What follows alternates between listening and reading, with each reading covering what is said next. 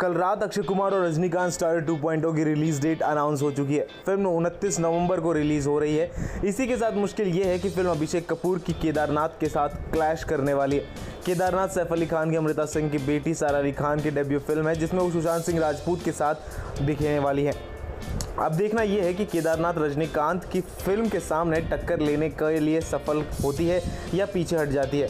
वहीं अगर फ़िलहाल देखा जाए तो 2018 के बॉक्स ऑफ़िस पर नवंबर सबसे बड़ा महीना होने वाला है। अक्षय कुमार, आमिर खान मिलकर इस महीने में 600 से 700 करोड़ की कमाई कर देंगे।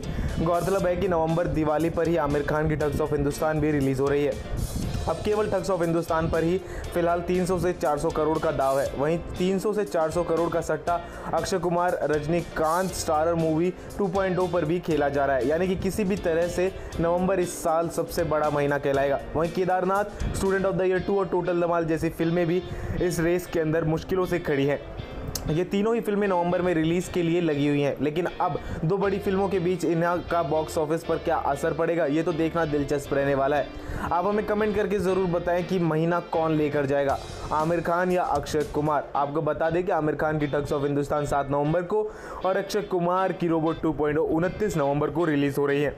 हालाँकि इन दोनों मूवीज़ के अंदर काफ़ी गैप है, लेकिन नवंबर महीने का काफ़ी बड़ा ओपनिंग डे कलेक्शन का टक्कर तो इन दोनों में रहने ही वाला है। दोस्तों, अब तक की सबसे बड़ी ओपनर है रणबीर कपूर की मूवी संजू। इस मूवी ने काफ़ी अच्छी ओपनिंग देते हुए चौंतीस करोड़ की कमाई कर ली थी, जो कि इस साल की सबसे बड़ी ओपनर में से भी एक है। क्या ये इसका रिकॉर्ड तोड़ पाएँगी? ये हमें कमेंट करके ज़रूर बताएँ और सब्सक्राइब करें। देखो देखो, क्योंकि बॉलीवुड से जुड़ी आपको हर खबर यही मिलेगी सबसे पहले।